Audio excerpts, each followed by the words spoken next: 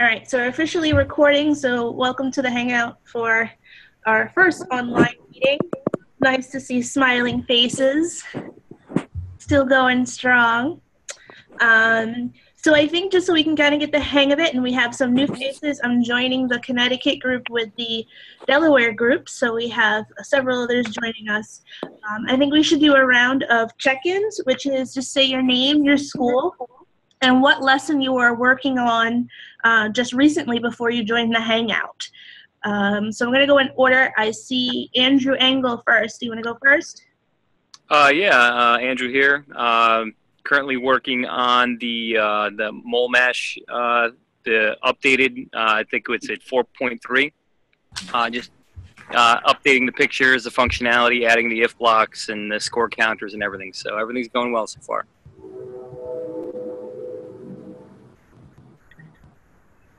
Okay, Tony Quattrochi, Fitch High School. I'm in exactly the same place as Andrew is. I just got done with the 4.3 uh, Android MASH projects.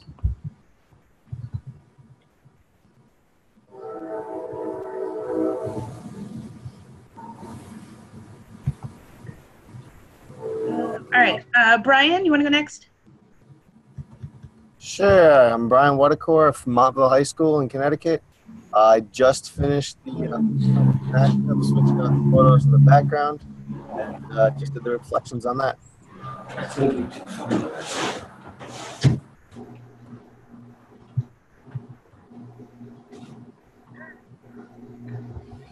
Sorry, tell us again which one you just finished. The 4.3, the mashup. The Uh, projects. yes, the project. Awesome. Uh, Patty?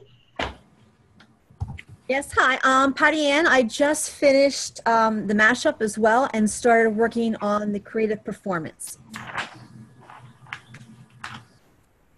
Awesome. Um, the other Andrew? Can you hear me? I'm unmuted. Yep. Oh, excellent. Okay, I actually went back to the uh, the logo assignment because I just didn't feel right with it, so I went and redid that. So I'm a little behind the game, but I feel feel confident that I'll catch up. Okay, make sure you're doing those reflections too, all right? Excellent. Eric? Hey, how you doing? Um, Eric from Watertown. I'm doing the um, second mash. I'm having a little difficulty with the uh, Android ex- uh, acknowledging my touch, but other than that, it's going fine. All right. Uh, Matt and Liz? Hi, I'm Liz Kubecki. Uh, Matt and I are both at Academy. Uh,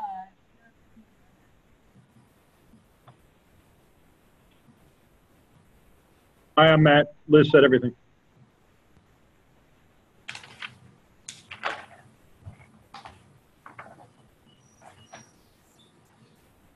I think we uh, missed out on Liz there, maybe because the microphone wasn't pointed towards her. We got bits and pieces of it. So you want to try again?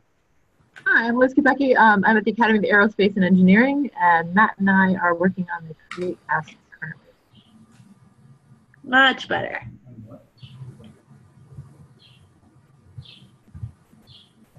Dan? Uh, all right. Well, uh, Dan Hughes here. Uh, I just finished up. I'm in North Haven High School, and uh, I just finished up the MASH projects. So everything went, went pretty well. So it was good. Good to hear. Carl? Hi, this is Carl. Uh, I'm in Greenwich at Convent of the Sacred Heart, and I'm also just finishing up with the MASH project. Awesome. So next to Carl, I am seeing Kristen, who is actually in uh, APSI training. So Kristen Violet is from Newtown High School. She's unable to use her audio, so she'll need to talk to the chat. So if you're in the chat, you'll be able to see what she's typing there. And she's working on Unit 3, a little bit behind, but she, will be catching up. Um, and we're trying to partner her up with someone for the Create project. My first thought was Liz and Matt, but it looks like you guys were already meeting and talking. So um, not sure how far along you are with an idea yet, but if you're open to having Kristen join you, I think that might be good. Feel free to discuss that in the chat. I would say our app is about 50% done. Oh my goodness. No, that'd be hard. Oh my. Uh, so real quick, is there another group that maybe like hasn't quite gotten started? They're still in the brainstorming phase.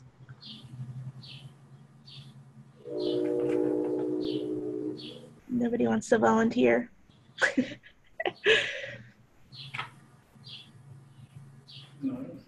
I started a second create uh, just independently. If you want to join that one. You want- I can join two create groups, but that'd be difficult. Yeah. I think we'll we'll we'll end up figuring out. I know Carl is saying he's he's in Danbury. Um, I think we'll, we'll figure something out.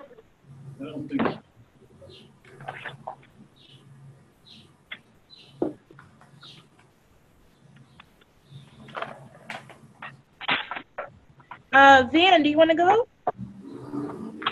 Sure, Van Metcalf, Trinity Pawling School in Pawling, New York. Uh, I live in Norfolk, so Farmington is not that far away, but right now I'm in Rhode Island, so that's not going to work. Um, just finished up the MASH projects, and uh, yeah, it's a little difficult because the, uh, the the MASH demo is supposed to use the Vibrate, and uh, we don't have that on the uh, on the Asus tablets. So, uh, but I did get it to work with the score. So that's where I am.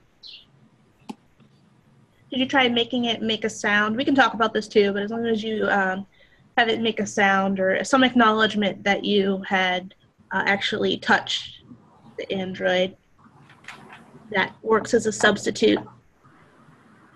Um, Josh? Hey guys, Josh Farside from Conrad Schools of Science in Wilmington, Delaware. Uh, um, currently at the point where I'm about to do reflections for the Mole Mash. Everything's going well.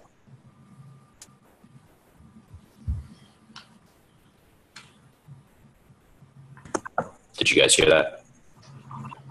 Yep. Yep, thanks. Awesome. Happy you could join us. Um, Stephen? Uh, Stephen Beal from uh, Stonington. Uh, everything's going good. As I was going through, I, I kind of had some questions about the progression, which I put in my reflections of the way information was. Um, with particularly was the president's quiz and going back and doing that one. Um, but other than for that, everything else has been fine. Sounds good. So just a general comment that I've been looking through uh, your portfolios and I have like comments that I made, but I have to send them to you. I haven't sent them to you guys yet, so I promise to do that. Um, so we have uh, uh, Dan, our other Dan from Delaware. Are you there? Hi. Yep. Uh, Dan Bates from uh, First State Military Academy. Um, I'm traveling on business uh, Annapolis. Um, I, about 75% through the mashups. Um, I'm having some Wi-Fi challenges because I'm on government installation, but I think I have uh, workarounds on that. Okay, we can talk a little bit more. It Sounds like a lot of people are working on those. We can, for today, which was the assignment. So we can talk a little bit more as soon as we're done with check-ins. Um, James, are you still there? I see you're muted.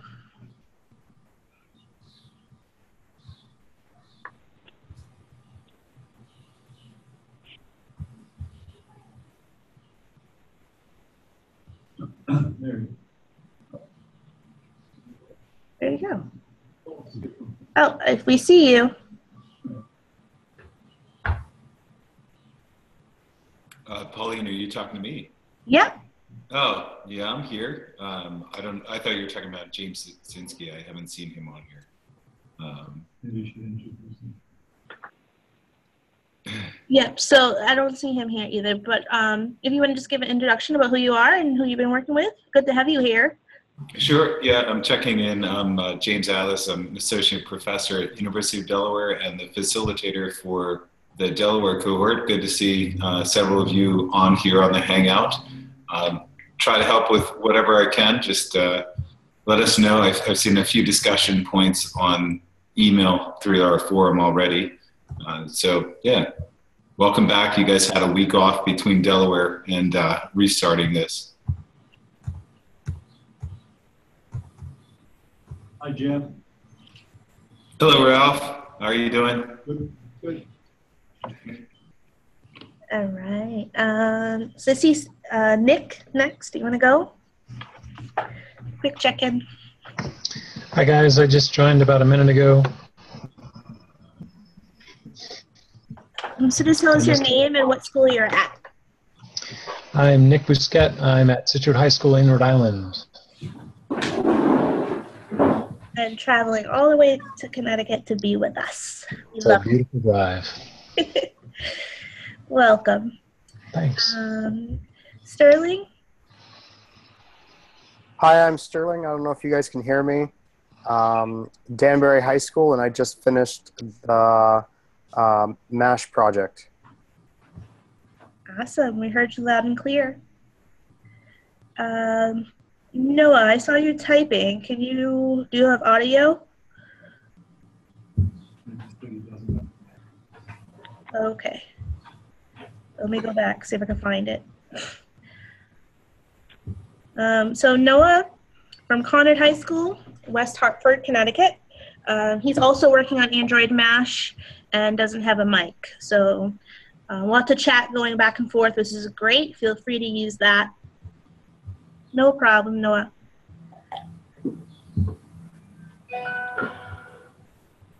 Larry? Uh, yep. Um, I've been working on the uh, MASH projects. I, I can't get my screen to recognize my touch, uh, so I can't really uh, get the score moving. But uh, anyway, that's where I am. I, as far as that, I made the cha- uh, change that was mentioned earlier about changing from vibrate to sound, and all of a sudden everything works. So maybe you might want to try that. Okay, thanks.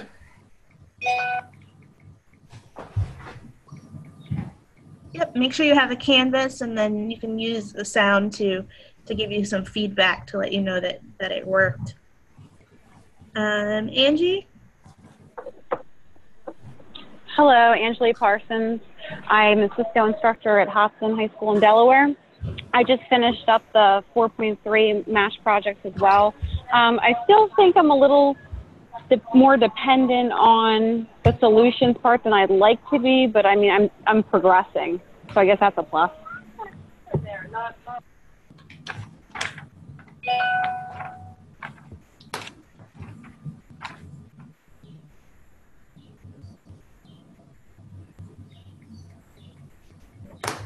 Um, I think one more tango. Yes, um, my name is Tanja Myers, and I'm currently working on the 4.3 MASH project. Awesome, thank you. And did I forget anybody? Is anybody else there? Say hello. We got everybody? Awesome. All right. So um, again, uh, I didn't want to, don't want you to feel like we have wasted any time. I just wanted to make sure everybody had a chance to meet everybody since we're coming together for the first time as a larger group. So these are all the folks that are in that Google group. When you send out a discussion, everybody is there uh, to help answer questions. Uh, that you might have, so feel free to post discussion questions there or questions that you have. Um, some of you are doing that already, which is great. Uh, continue sending any questions that you have to the entire group and feel free to respond to one another. I hope that you will.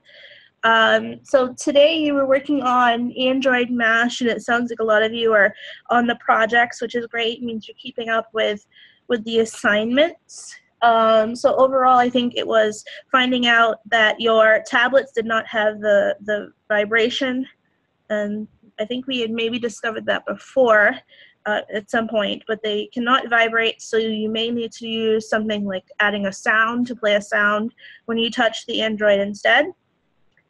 Um, are there any like other major questions that you had about concerns about the Android Mash projects as you were doing them? There's a lot of us, so I hope we don't cut each other off.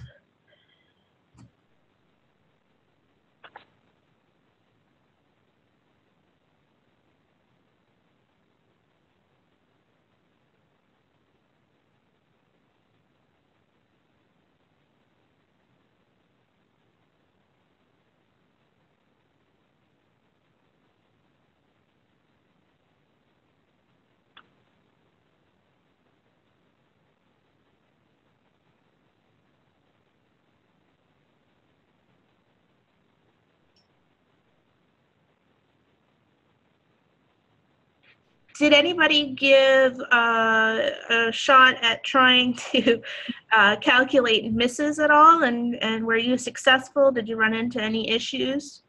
If you did it successfully, any pointers for those who may not have tried it yet?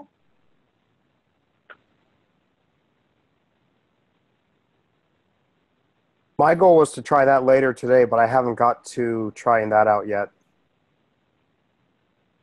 Yeah, I was gonna do the same thing, but when you missed a screen or missed a, the guy, it was gonna say like "ouch" or "almost" or have it say something as well.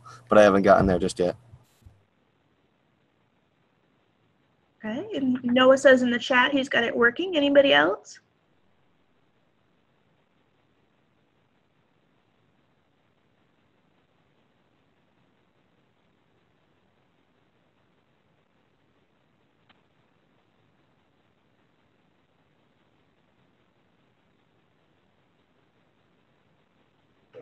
I decided to put a, this is Matt, I decided to put a counter in um, that allows someone to sort of win the game. So it counts up to a certain amount and then it can reset the game at any time as well. Nice. How about did anyone play around with the challenging uh, idea of changing the mole, speed of the mole as the player reaches, as the player's score goes up? Yeah, that was a pretty complicated uh, if then else if then else kind of series uh, to change the speed.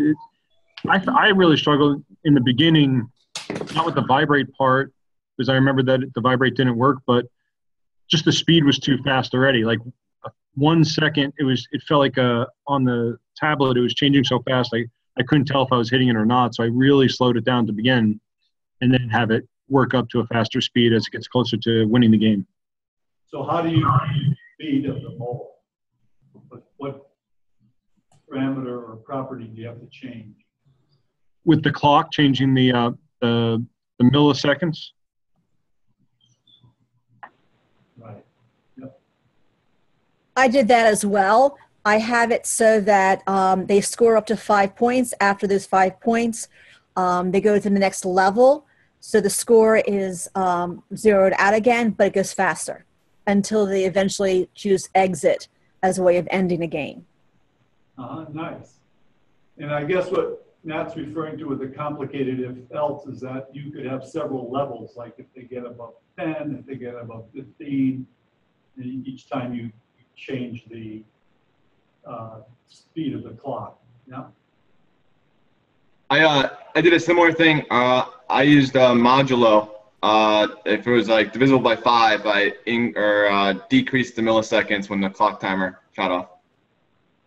I went through a little bit easier. I just uh, took 0.8 times the current millisecond value and uh, stored it back into the milliseconds. And I did that every time the score was equal to six. And so you'd play till 10. And so they gave it kind of a level uh, thing. Neat, neat, neat solutions. All slightly different, but nice.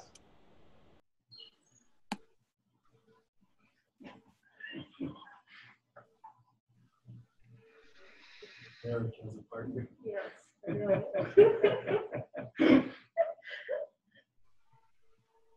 So it sounds like you guys are all on top of that um, mole mash or Android mash, as we called it. Uh, Did you enjoy it?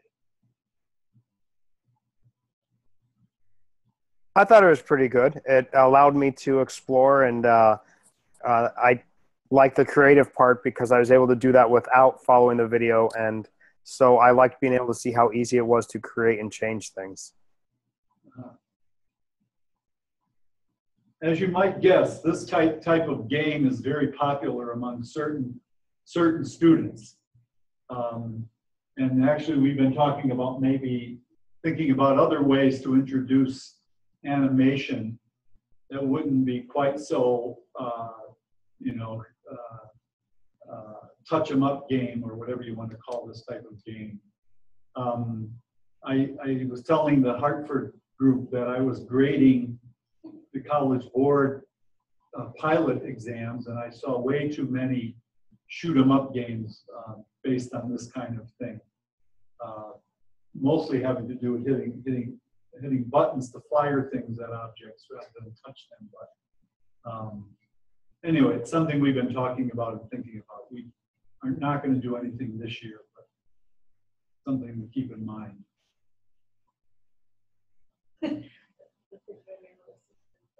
Someone did that? Did someone actually use their little sister or brother's picture on the uh, app? Saw one version with presidents before. That's all I'm gonna say. The, the oldest version I saw was Whack a Dole, when Bob Dole was running against Bill Clinton. Dating myself.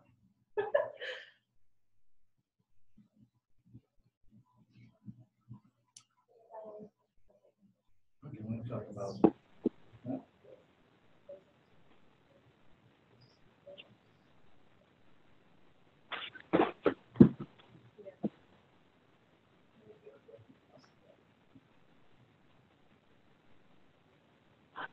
Yeah, how did the, um, how did the persisting photos lesson go yesterday?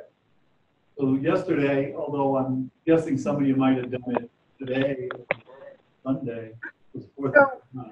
I had a question about the database. Say again? I, I have a question about how to do something with databases. Is there a way to store like multiple tags and values all at once instead of just using that like store each time? If I want to store like say a whole list of things as tags and then a corresponding list of values, is there an easier way to do that? Uh, yes, you can store a list in a database. But that's it still has a single string tag for it, right? Well, you want a list of t- names and uh, tags and values? Correct. So like essentially storing like almost a, one table at once. Yeah. You can certainly do that because you can store a list of uh, uh, uh, two things each under one tag though. under one tag, but is there a way to store like so the example I'm using, I was making an app where you know people could look up details on restaurants, right? So the tag would be the name of the restaurant and then under that would be stored information about that restaurant. But rather than going through and, and clicking that store for the database each time and then putting in the restaurant name for the tag and then putting the information, is there a way to just like put all that in a list and then have it create a database from the list? Yeah, there's a. Um, so in the, um, in the, let's see, in a follow-up to that president's quiz, we're going to look at something similar. So okay. store, for example, this will be coming probably next week, but um, what you would store in that case, one way to do this is you would store a list of restaurants, right? And then you would read in that list, and every time they pick a restaurant, you go back to the database and you look up the data for that restaurant. Yeah, that's what I was. I was trying to do like a list picker, right? So they would pick something kind of like that map thing we saw. They would pick something from a list, right? And then it would look that up in the database, then it would feed out on a label information. But the Yeah, way that I, we- we can't hear you very well. Oh. But uh, next week, we're gonna learn how to use a Firebase database, which is Okay. online. Okay. And we'll learn, um, we'll learn a similar technique to what you're, what you're thinking about. But, um, for your create project, I would recommend keeping it, you know, pretty simple. Okay. This, this one here. Yeah, we, we switched ideas, so I I think it's simpler at this point. Thank you.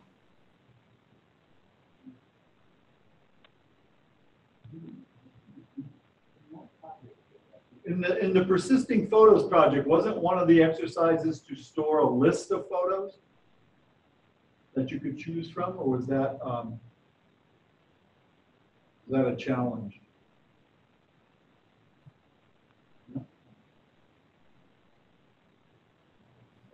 Trying to figure out how to do the list, like store a list under like a given string tag. I was just wondering about storing like multiple tags all at once. Yeah, but you were able to store a list of photos under one tag. Yeah, yeah. Yep. Well, that's good. I mean, that's, uh, that's fairly advanced right there, and we'll learn even more advanced techniques later in the next lesson. It, it's connected to President's Quiz.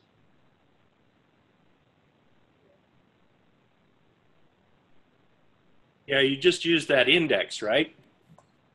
It depends on the order of the pictures or the order of the information or the order of the restaurant, right?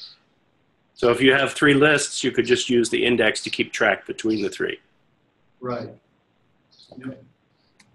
And we're gonna, we're gonna, in the six point five, which is under development, we're gonna learn how to load the entire data structure in at one time, rather than having to go out and load it three times. Well, we'll, we'll, I'm getting ahead of ourselves, but you'll, you'll see. It's cool.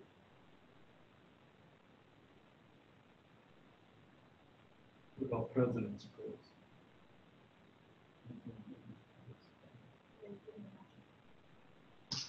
So, uh, question, with the, um, camera app, is it, um, I know we talked about it before, Pauline.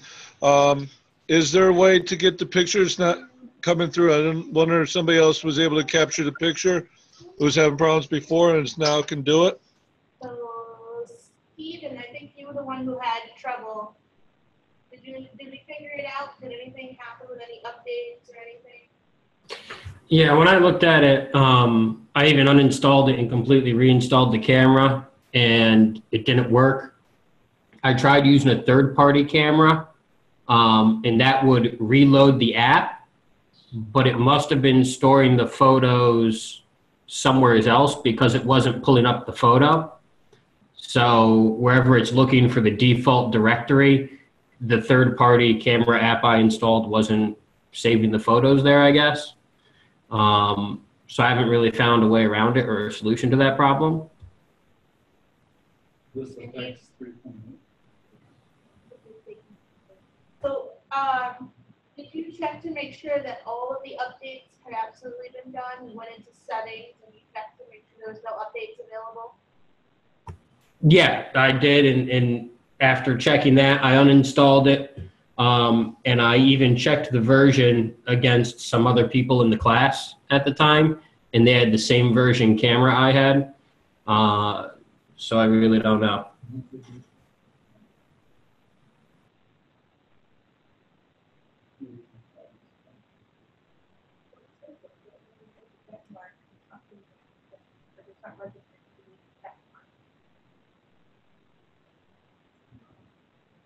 So, uh, some of you did get it to work, right? So I know you all have the same, same version tablet, same model. Um, some of you did get it to work, right? So if you take the photo with the camera, you hit check mark, it puts it on the canvas. It works for me. That's weird. Same here, works just fine. Yeah, it works works fine here too. I mean, it, it worked on my phone when I did it on my phone. It was just, so it's not the code. Right.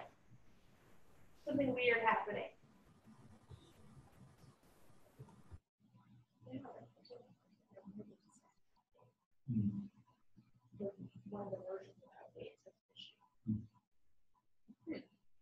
not sure. If you could have, if you have another device, you can possibly test it on. Um, the, the emulator would also work, but I'm not sure I want to tell you to go through that, So- that so- process. So, what- so Eric, Eric's having trouble too? Let's see if it's phone. Yeah, when I hit the check mark on the picture, it goes to the camera. When I hit the check mark on the camera, it still stays on camera. It doesn't leave there and go to, uh, back to the application. Yeah, and and that is exactly what was happening with mine. I hit the check and nothing happened.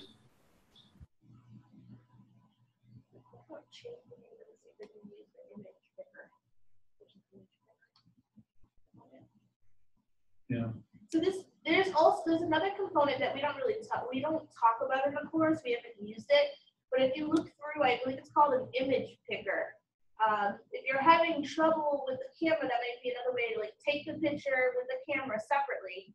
And then see, I believe it's the image picker that will pull up all the images and let you select an image that way. So it's kind of a workaround, since you can't hit the check mark. Uh, but just so you can still use the, the device that you have and, and see some results with it. Um, I'm So- not sure if that will also give you a problem depending on what's going on. So when you, if you just take it, with forgetting the app for a moment, if you just take a picture with the camera on the device, does it take the picture and store the picture in your gallery? Yes. I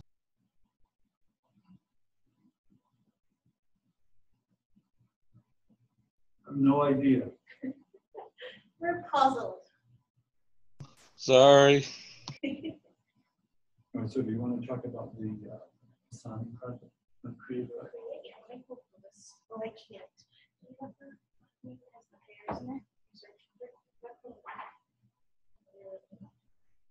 It's called then one pairs.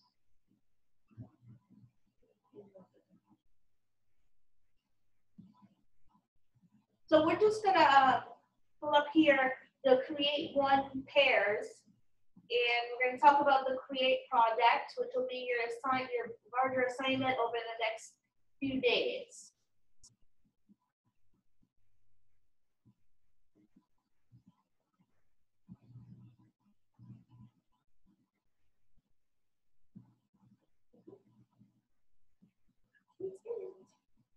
Um, So Dan, uh, Bates, are you still there? Yep, I'm here. Are you working with James? Yes. Okay.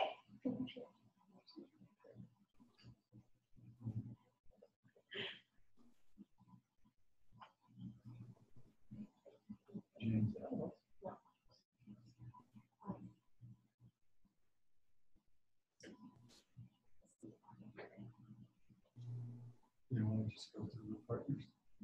Um. So here's, here's the list we have of partners. Larry and Carl from Hartford, Stephen and Brian from Hartford, Tony, Q, and Andy Mes- Meselitzer from Hartford, Noah and Andrew Engel from Hartford, Leon and Dan from Hartford, uh, Liz and Matt from Hartford, Eric and Sterling from Hartford, Patty and Tanja from Delaware, Van and Nick from Hartford, Kristen and Question Mark from Hartford, Dan B. and James S. from Delaware, Angelia and Josh from Delaware. So does that confirm to everybody's uh, understanding of partners? Did we get? Yes. Yes. Oh, Patty and Tanja, okay. So.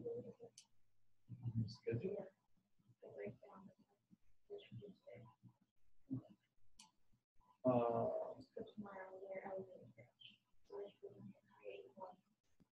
Yeah, so, so bear in mind, so these create tasks for the final one, uh, this one should be even shorter, but for the final one, your students are gonna be given twelve hours of class time for the entire project.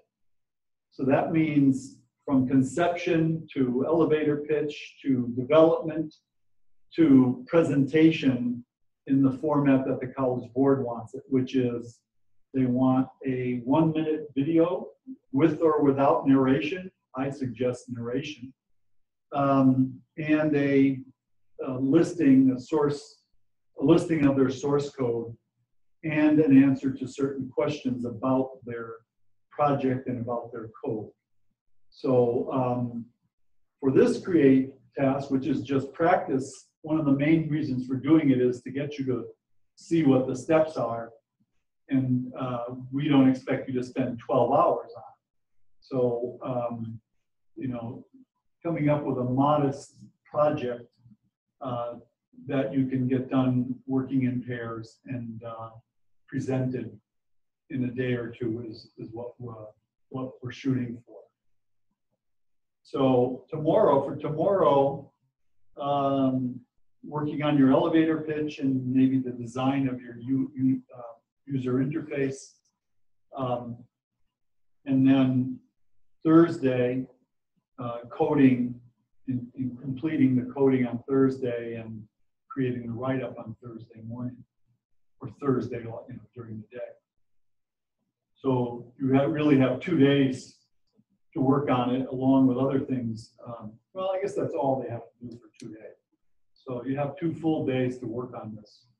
But keep it modest. You know, even for your students, when you, um, we don't think they need to create, based on what I saw at this grading session a couple weeks ago in Kansas City, they don't need to create elaborate projects for this college board. They may want to create elaborate projects for their own interests, which is great, but they don't need to do it for the college board. So do you want them to share their elevator pitch and brainstorming with us before they get started? Yeah, I mean, I think tomorrow's hangout would be a good time to go over the elevator pitch.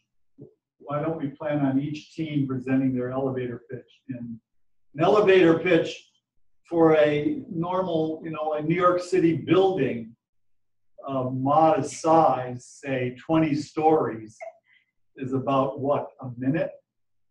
Are we talking about world, you know, um, what's a huge uh, building?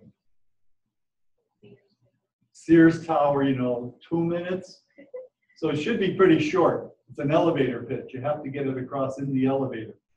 Um, so if you present your elevator pitches tomorrow, and then if we hear ideas that we think are going to take you way more than all day Thursday to do, we can we can try to rein you in, which is usually what we end up having to do because most uh, most students, and you're being students now, uh, are far too ambitious in what they'd like to accomplish with the app, which is admirable, but um, we only have a day or two to do this. Does that sound like a plan? Tomorrow. Tomorrow at three, we'll hear your elevator pitches. If you have questions about project now, now would be a good time to ask. And if you have thoughts and you're batting them around and you want some feedback, both on in terms of is this feasible to do in two days, and also in terms of uh, what kinds of uh, components would you need to do this, or algorithm would you need to do this.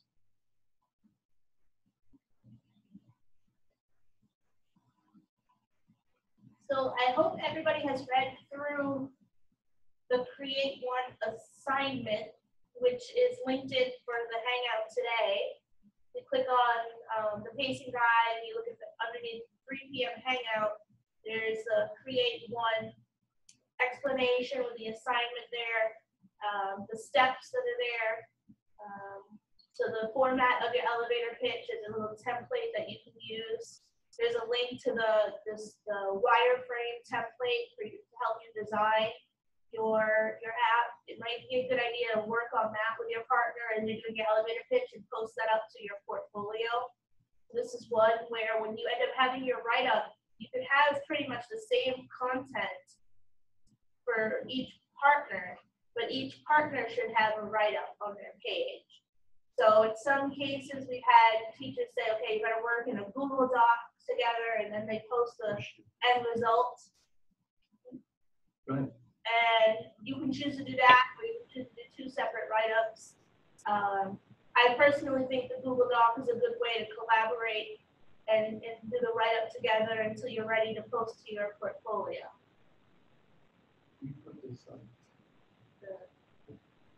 Why don't we take a quick look at the rubric that the College Board has, its current rubric for the create task. You know how to find it? Yeah, just click on the link for today's. uh, Pauline's going to share her screen so we can look at this together, because I just want you to see um, the scope of what they're expecting. If you go scroll down in this document and look at their draft rubric, I strongly think this is going to change because we complained a lot about it, we graders. But let's look at column three, which is where you need to be for max scores. Um, First thing is the video that you produce, the one minute video demonstrates the running of at least one feature of the program that illustrates the program's intended purpose as described in the written response or the video narration. So you can either narrate the video to show the purpose of the app uh, or and or write a written response that describes the purpose of the app. That's the row one, creating um, the program's purpose or the app's purpose. Row two, your response describes at two points in the development process how the difficulties and or opportunities encountered were resolved and incorporated as part of the incremental and iterative development process. So they really like these incremental and iterative buzzwords. So in your response there, you're supposed to show that you were doing some kind of incremental development. And the response must identify at least one point in the development process that was completed independently. That means, um, in, in, when the student turns this into the college board, if they only describe their project in terms of a team of we, we did this and we did that, without any reference to this is the part I did, they would get no points uh, in that category there for that. And then row three, the selected, you have to select an algorithm from your project for the College Board, and the selected algorithm integrates, this is really where we complained a lot. Integrates two or more algorithms and integrates mathematical and or logical concepts, selection and iteration to create a new algorithm. I find that very confusing. I don't think you should worry too much about selection and iteration. Um, I think you, you should at least have selection in the algorithm you pick. So somewhere in your app, you want to make sure you have selection statements involved in an algorithm. Um, and the response identifies the algorithm's purpose in the program and accurately describes how at least two of the algorithms function independently, as well as in combination to create the new algorithm to achieve the program's purpose. So this is something we're going to want to talk about after you try this yourselves to see uh, what kind of advice we'd want to be giving our students. And lastly, the select, you have to uh, circle an abstraction in your program that uh, integrates math and or logical concepts and serves to manage complexity of the program. And the response indicates that an abstraction was developed and accurately explains the abstraction, its function, and how it helps to manage complexity of the program. So for this particular part of the grading, what they had in mind was pretty much a procedure definition and use of a procedure in your code. So, okay, you can unshare. So I think you can see from that that you, you wouldn't need a very complex app to satisfy those criteria for the rubric. And, and the student wouldn't be getting lots of points because the app is complex. They earn their points by being able to pick out little parts of the app that satisfy this very narrowly focused rubric. So any questions about that? Or thoughts? Or comments?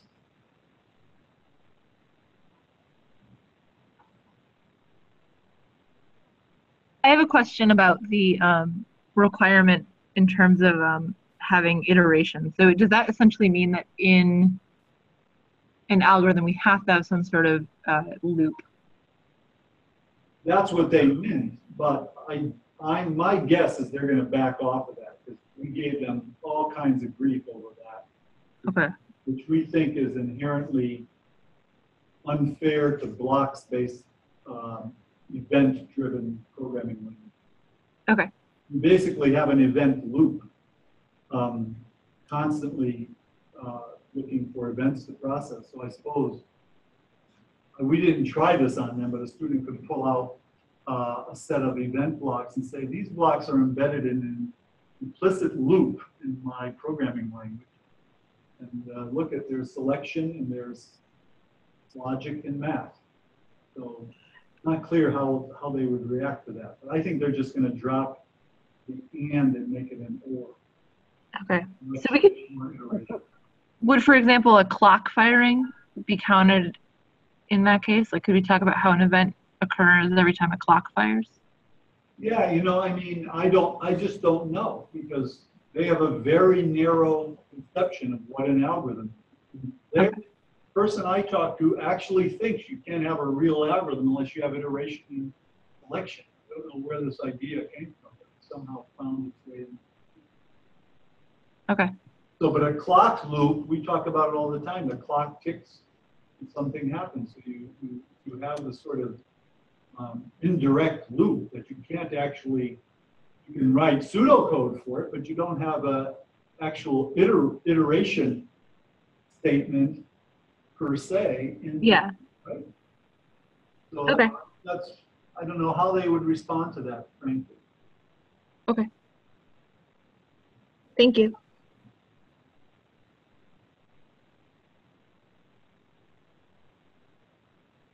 So I would say, at a minimum, try to include an if-else algorithm in your app. Look for a way to do that. Now, it could be uh, you have a menu and they have to select from a menu and do certain things.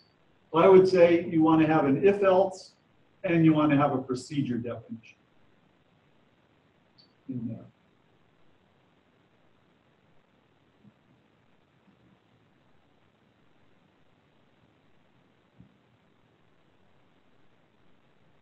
Actually, if you took the logo out. Right? Submit that, get a five.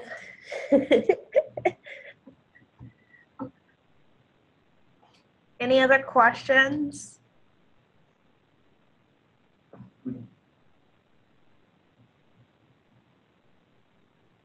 So you all ready to go and be creative? Sounds good. Any last questions or should we knock off a few minutes early? So what is the exact requirement for tomorrow's meeting that we have done? Just go through that one more time for me. Your elevator pitch with your partner and your storyboard or design. So tomorrow, everybody will get but one minute to present their app idea and we'll let you know, know like yay or nay, or if there's anything you need to alter to make sure you have uh, just the two days to complete and you can get everything done in those two days. Um, if you want to start like designing it in App Inventor, I think that's something you could start doing if you would like. But we're just looking for the elevator pitch and the the storyboard, the wireframe. The, the instructions are pretty broad. Can you give us an example of one that's been used in the past? One, uh, one create project? Yeah. Well, you could take, say, um, a variation of uh, the soundboard app as my create project, or variation of PaintPod, or variation of President's Quiz, or variation of uh, Android Mash. Any of those would suffice. So it could be your own customization of one of those apps with some you know, uh, features that you've added in. So I like how Ralph is being very broad with his answers even still. And that's, you know, it's not that we don't want to tell you, you know, specific examples, is that we don't want to influence the creative process, right? So we want to give you a general sense of what you should be aiming for, but we don't want to implant certain ideas in your head. We want you to be creative with what you're doing. That, that should be what you're doing with your students too. So forgive this, uh, may- maybe you guys talked about this briefly, um, but this is still needing to be like a socially, whatever, however they phrase it in the in the vernacular of the uh, APCSP curriculum, but it's like um, socially helpful application, Socially useful. That's a, that's, socially useful. that's Sorry. a requirement that Mobile CSP has put in there to focus the ideas about socially useful, being able to be use it in the community. But for our purposes, like you don't want us to focus on that. I mean, I mean, No, I think it would be good to focus on that. okay. I- I'm just, I'm just making sure. college board isn't gonna focus on that. That's not any part of their. Oh, this, that's that's just strictly in the mobile CSP curriculum. It has nothing to do with what the college board is looking for. Yes. Right. Roger that. Okay, thank you. One of the themes of our, our course. I think it's good, and if you can come up with one that that's, you know, socially useful in a broad sense. Doesn't have to save the world. Mm-hmm. Okay, great. Thanks, guys.